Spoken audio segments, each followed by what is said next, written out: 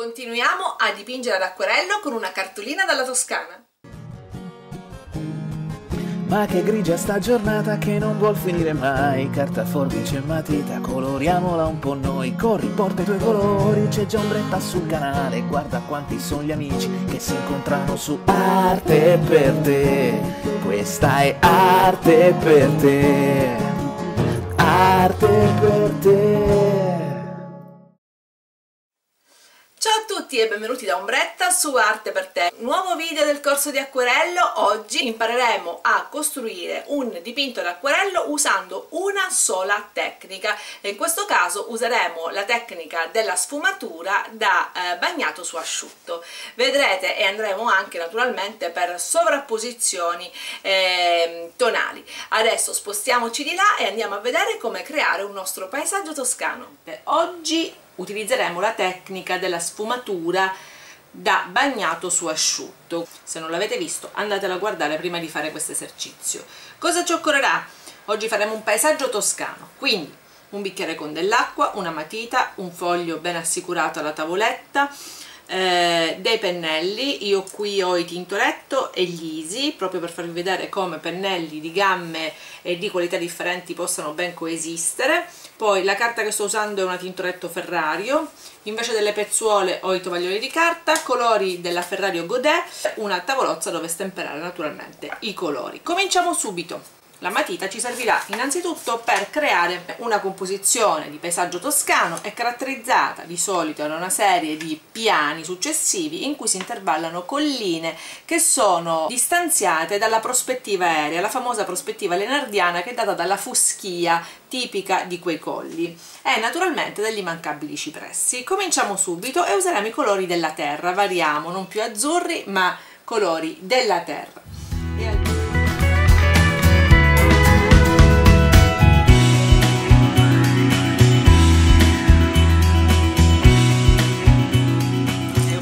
Queste linee vanno date con una matita molto molto scarica. Vedete una serie di piani continui le nostre colline. Ancora ci manteniamo su dei soggetti abbastanza semplici ma d'effetto in modo che se ci facciamo un viaggetto invece di spendere soldi per il regalo o limitarci a delle fotografie possiamo fare nostro il paesaggio fermandoci un attimo guardandoci intorno e riproponendolo su un dipinto prepariamo innanzitutto il primo colore. Io andrò da un giallo verso una gradazione sempre più via via terrosa fin, fino ai verdi. Quindi come prima cosa con un pennello più scarso questo della Easy andrà più che bene prelevo il colore dei miei godet. Prendo dell'ocra e un po' di rosso lacca a creare un arancio tramonto molto delicato con un pennello in martora sintetica ben bagnato a fare il primo passaggio. Vi ricordate? allora. Si dava la prima passata si bagnava bene il pennello quindi dal basso verso l'alto ci si congiungeva. Dal basso verso l'alto e si tornava poi un po' giù in modo da creare questa sorta di sfumatura incliniamo da creare questa sorta di sfumatura naturale che dalla parte più carica vada verso la parte meno carica del disegno. E lasciamo asciugare. Procediamo con un colore che vada ad intensificarsi nel rosso e che contenga ancora un po' di giallo ma che nello stesso tempo sia molto molto delicato. Quindi questa adesso vedrete formarla questa montagnola qua.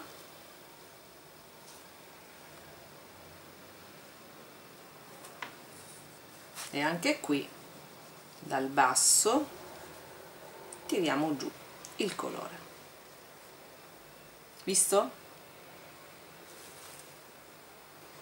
Se vogliamo dare un po' di giallo alla stessa maniera poi dal basso tiriamo giù il colore.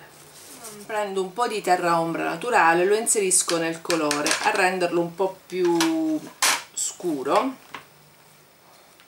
e ripasso su quello che voglio sia il margine ok? Quindi sempre col pennello bagnato dal basso verso l'alto diluisco in modo da far scomparire quasi la linea.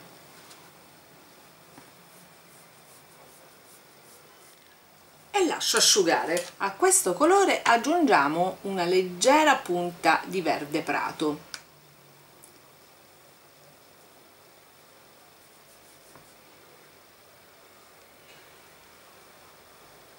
partiamo a dare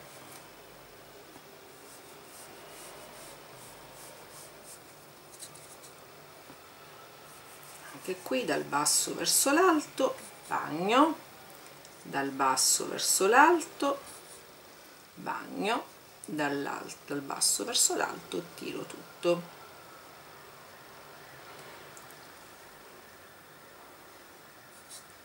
Ovviamente se cominciano le particolareggiature le faremo in un secondo momento tipo qui le particolareggiature degli alberi. Qui diamo solo un'orma per movimentare leggermente ehm, il panorama insomma per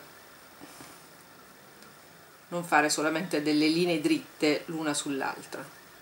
Intensifichiamo maggiormente dei colori della terra quindi aggiungiamo del terra ombra al giallo alla misticanza di prima di colori vedete aggiungiamo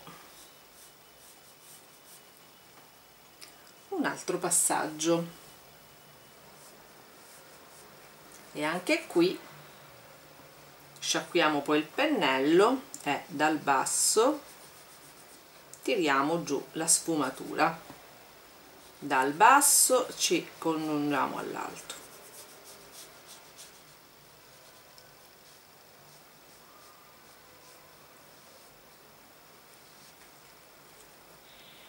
e anche qui se c'è da aggiungere qualche particolareggiatura aggiungiamola. Se vogliamo fare cadere una zona invece totalmente in foschia senza colore semplicemente con l'acqua saliamo verso la parte dipinta e congiungiamone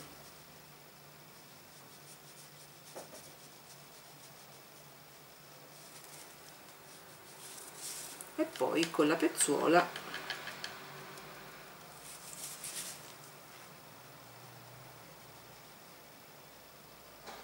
voilà.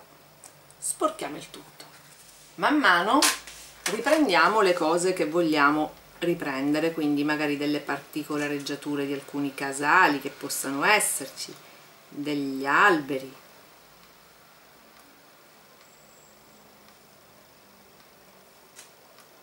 dei movimenti.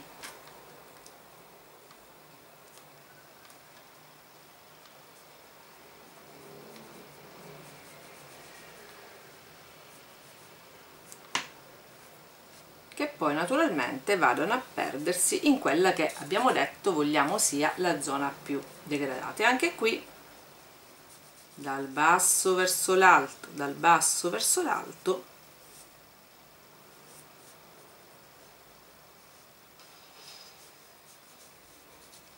voilà facciamo tutta la nostra sfumatura. Torniamo un attimo indietro con un po' di rosso perché nel frattempo dobbiamo sempre aggiustare quello che abbiamo precedentemente fatto. E vedete qui quanto poco sia certo tutto questo? Ripassiamo. Ora che la parte inferiore è più scura e sempre dal basso verso l'alto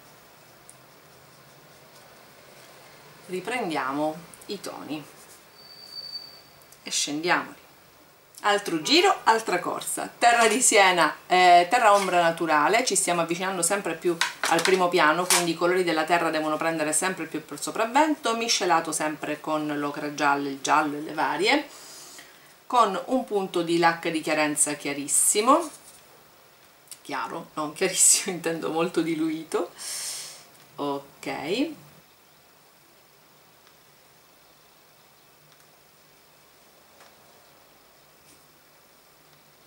e diamo quello che è un passaggio che poi anche qui con il pennello bagnato diluiremo.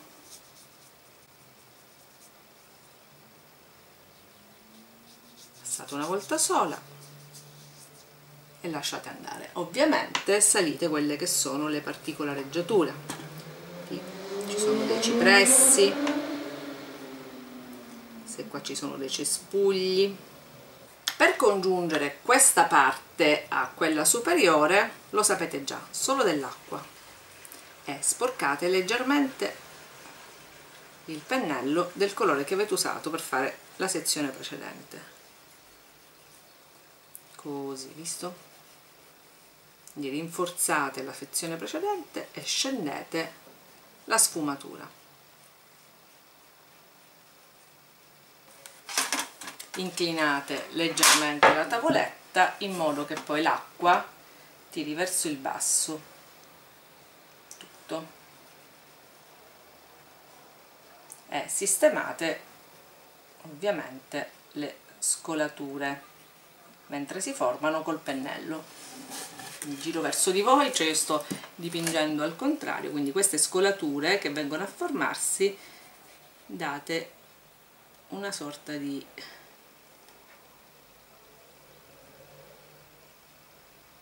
senso aggraziato quindi create cespugli, alberi qua stiamo andando a fantasia eh? stiamo scendendo ancora più terra e ancora più erba quindi terra di siena, terra ombra naturale sicuramente sì un bel verde scuro sicuramente sì non vi dico i colori perché i colori potete combinarveli da voi è sempre l'ocra giallo in un dipinto specie di questo genere eh, non ci sono colori giusti e colori sbagliati. Ok. Diluiamo bene e creiamo il nostro step successivo che è così. E sempre dal basso tiriamo la sfumatura ok. E lasciamo asciugare anche questo piccolo settore. Ora qui dovrà salire la collina in primo piano. Ancora verde. Poggio diciamo così collinare. Ok. Anche qui diamo la striscia poi col pennello pieno d'acqua tiriamo giù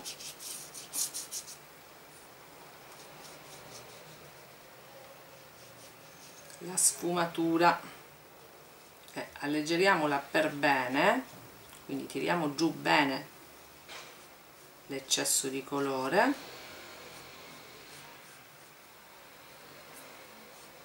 Perché il tutto debba rimanere sempre molto molto delicato. Foschia insinuata, piani definiti, cominciano le particolareggiature pennello più sottile. Sempre toni molto gravi della terra. Cominciamo a aggiungere quelli che sono.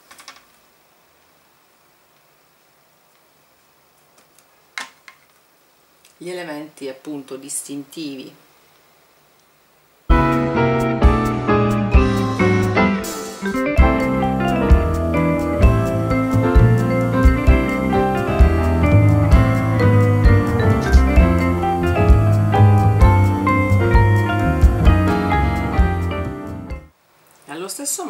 definiamo gli altri campi, quindi riprendiamo i colori che abbiamo utilizzato per crearli quindi e forziamo, diciamo così, l'accento.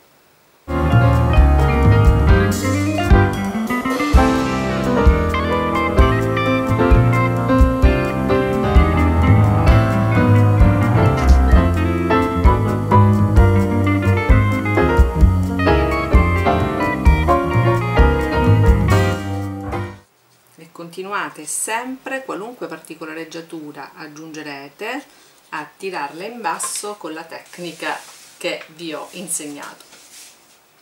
Quindi mano a mano andate a definire tutte le parti superiori e comunque diluitele verso il basso in maniera tale che rimanga questa sorta di sospeso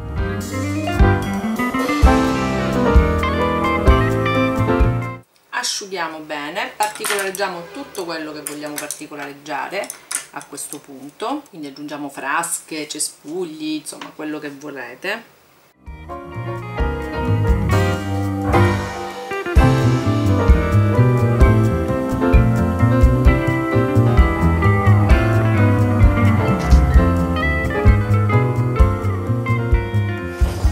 Adesso per tingere tutto delle tinte arancioni del tramonto prendo proprio un arancio lo diluisco molto. Se non lo avete lo potete creare voi. Ma molto diluito e velocemente passo su tutto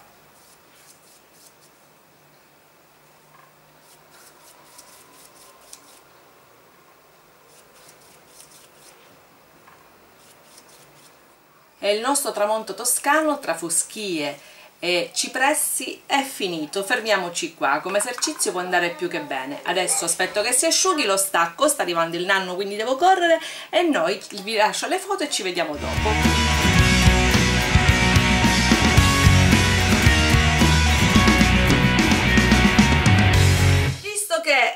Facile alla fine creare un qualcosa di armonico e composito usando poche tinte e soprattutto usando una semplice tecnica. Quindi mano a mano nell'acquisizione delle tecniche vi sto fornendo eh, il modo per allenarvi a sviluppare l'una piuttosto che l'altra. Perché adesso dobbiamo scendere in campo dobbiamo prendere il pennello e applicare quello che abbiamo visto nei quadratini delle nostre esercitazioni ho scelto come leitmotiv del corso di acquerello le cartoline e quindi ditemi quali saranno i paesaggi che più in là vorrete vedere, i posti, le zone, ho scelto da prima l'Etna perché era il punto di partenza, adesso la Toscana perché nel momento in cui ho girato la parte pratica del video Gabriele era in Toscana, ora gireremo prima l'Italia, l'Europa, il mondo e quindi le, le cartoline acquerellate di arte per te potranno arrivare veramente veramente ovunque, credo che sia un'idea carina anche perché dà una diversità di soggetti e perché una, una, cartolina da un paese può rappresentare una veduta ma può rappresentare anche